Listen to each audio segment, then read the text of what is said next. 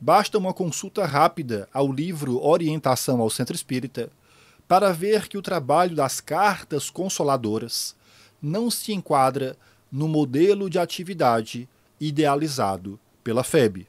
Basicamente, as orientações que lá se encontram, a título de sugestão, modelam a prática da mediunidade em uma dinâmica baseada no socorro, na orientação e no alívio dos espíritos necessitados. Nesse modelo, a ideia predominante é a da assistência, ou seja, se colocar à disposição de quem se encontra precisando de ajuda ideia que predispõe se encare essas reuniões como espécies de unidade de proto-socorro da espiritualidade. O centro espírita, portanto, seria componente de uma estrutura de trabalho muito mais ampla, no qual o que é feito seria apenas a ponta do iceberg.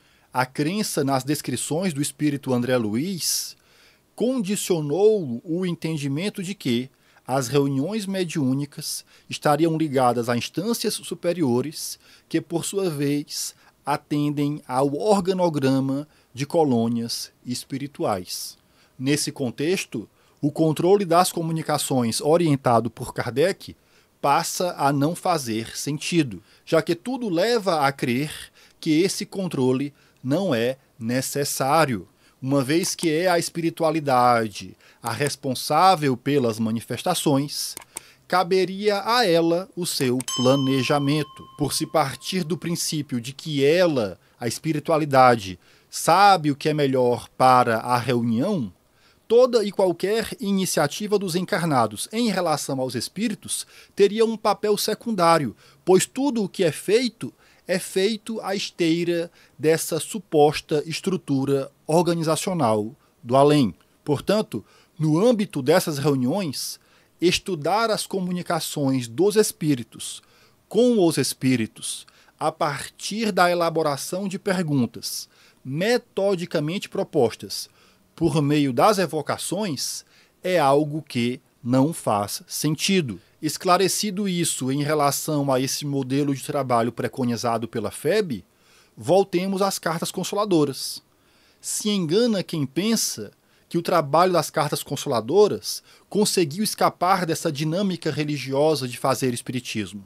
Muito embora esse trabalho fuja em parte dos padrões institucionais, é válido dizer que a sua estrutura ainda se ressente dessa postura passiva em relação ao que os espíritos dizem. Postura muito bem ilustrada por Chico Xavier na sua famosa explicação de que o telefone só toca de lá para cá. Se essa explicação era utilizada pelo Chico e ainda hoje é repetida a fim de que se diminua a pressão, a cobrança em cima do médium, convenhamos. A explicação, além de ser kardecianamente contraditória, ela não elimina o fato de que a forma como essas psicografias são trabalhadas acaba fazendo com que se crie uma grande expectativa por parte de quem busca alguma mensagem. Não por acaso, centenas de pessoas são mobilizadas, movidas pela esperança, movidas pela expectativa de receberem alguma notícia dos seus entes queridos. Vale dizer, expectativa que anda passo a passo com a credulidade excessiva. Mas a ignorância não é só uma característica do público que não tem embasamento teórico. Como esse tipo de trabalho também é igualmente baseado no fato de que a espiritualidade é que sabe o que é melhor, vejamos, não é só o público assistido que é deixado no escuro. Os próprios trabalhadores envolvidos com a mediunidade, os próprios trabalhadores, estes também não tomam conhecimento do que acontece. Por quê? Porque as comunicações, elas não são controladas. Assim como nas atividades tradicionais do centro espírita, a lógica é a da assistência, do amparo aos necessitados. Mas quem disse que estudar as comunicações impede que as pessoas sejam consoladas? Não impede. Uma coisa não tem nada a ver com a outra. Fato é que a falta de controle acaba mantendo as pessoas numa situação de fragilidade. Fragilidade sustentada pela expectativa. Deixa eu explicar. Olha só. Se para cada centena de interessados em receber comunicação de entes queridos, apenas duas ou três pessoas obtêm algum retorno, como fica a situação de todas as outras? Dessa forma, é muito conveniente tirar o seu da reta através da explicação do telefone. Mas isso não muda o fato de que as pessoas continuam sem saber. Continuam sem saber e continuam esperando. Nesse contexto, entra outra explicação religiosa que é tão simples quanto cruel. É a explicação de que quem não recebeu é porque não teve merecimento, o que não é necessariamente verdade. Aliás, com base em que se pode dizer isso se nenhum estudo foi realizado? Nem precisa, pois é uma explicação religiosa de quem não se coloca à disposição para estudar caso a caso.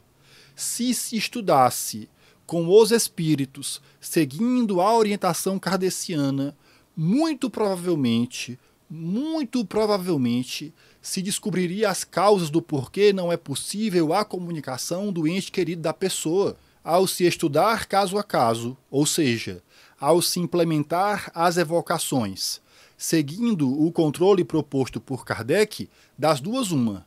Ou o espírito evocado se comunica, ou se compreende as razões, as causas do porquê ele não se comunica. Razões que vão desde a falta de compatibilidade com o médium até a própria condição do espírito. Ou seja, são muitas as possibilidades, são muitas as razões que impedem que um espírito se comunique.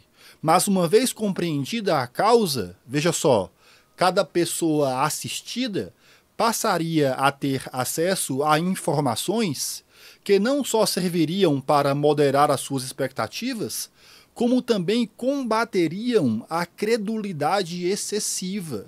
Ah, Rafael, mas atender um por um é impossível. Impossível não é. Tudo depende da dinâmica do trabalho. O trabalho é que não é estruturado em torno do controle das comunicações. E veja que em nenhum momento eu reduzi a questão a um problema de ser certo ou errado. O que eu estou pondo em evidência é que a forma de fazer espiritismo ensinada por Kardec leva a mediunidade por um outro caminho, caminho esse que até dispensa a necessidade de se criar toda essa movimentação que a gente vê em torno desses médiums.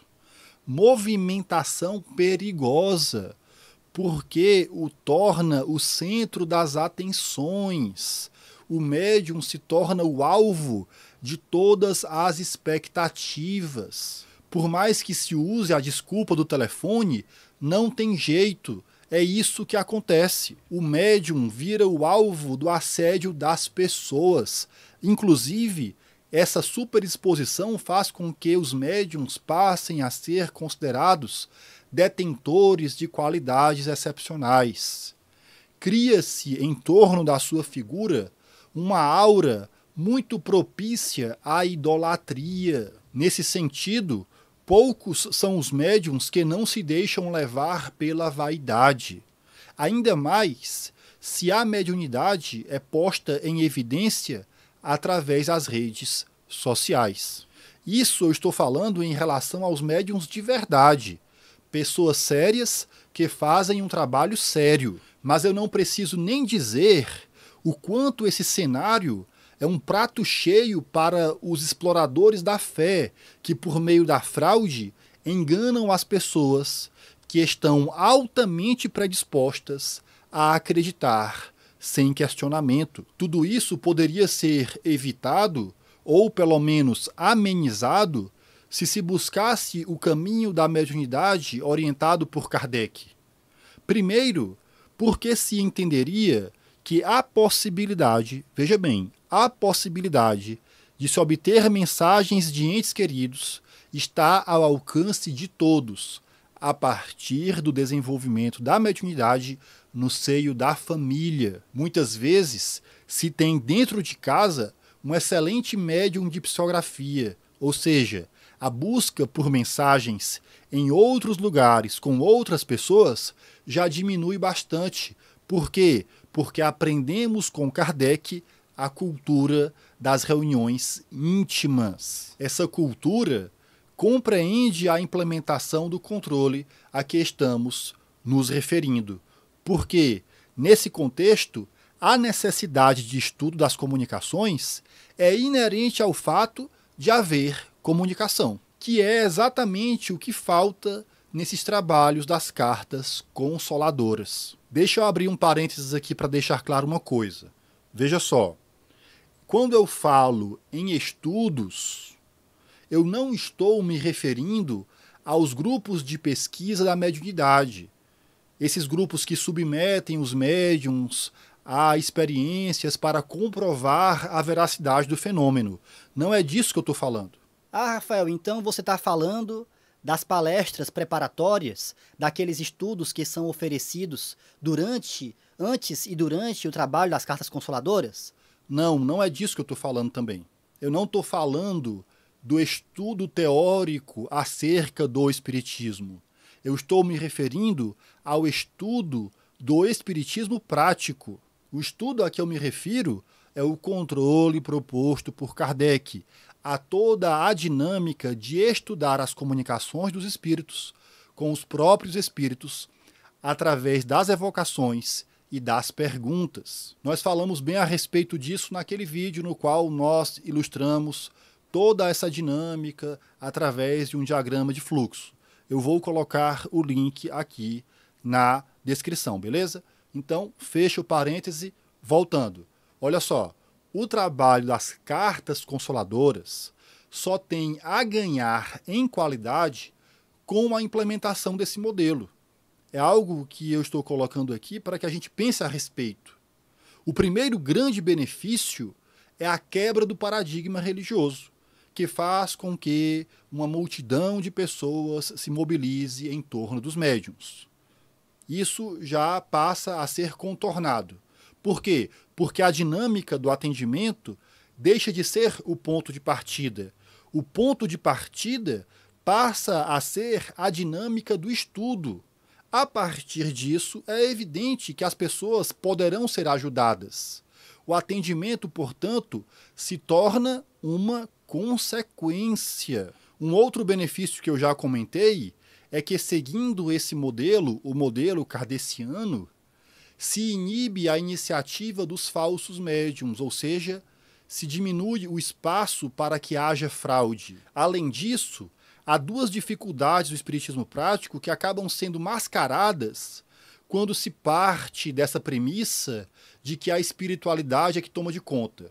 Eu estou me referindo à obsessão e à mistificação. Quanto mais passiva é a postura em relação ao que os espíritos dizem, mais esses problemas se tornam difíceis de serem detectados. Mas, Rafael, você está entrando em contradição, porque em outros vídeos você já pôs em destaque um caso de psicografia e a importância desse trabalho das cartas consoladoras. Mas o que eu estou falando agora não se choca com o que eu já falei sobre isso.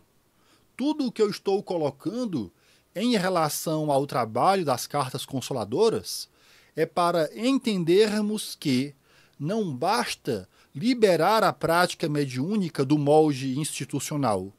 Até porque, como eu estou demonstrando, se a libertação é pelo menos quanto à forma, no fundo, o trabalho ainda se ressente bastante do paradigma religioso.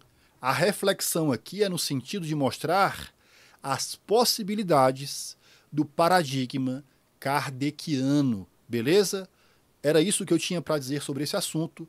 Se inscreva no canal, curta esse vídeo, compartilhe ele com outras pessoas.